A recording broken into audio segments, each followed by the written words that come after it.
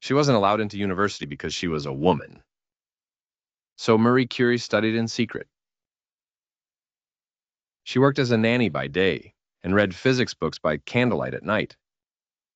Years later, she and her husband Pierre discovered radium and polonium, dangerous glowing elements that would change science forever.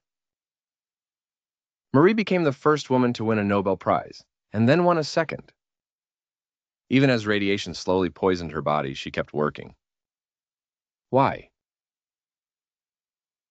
Because she believed science should serve humanity. She died from exposure to her own discoveries. But today, millions survive cancer thanks to her work.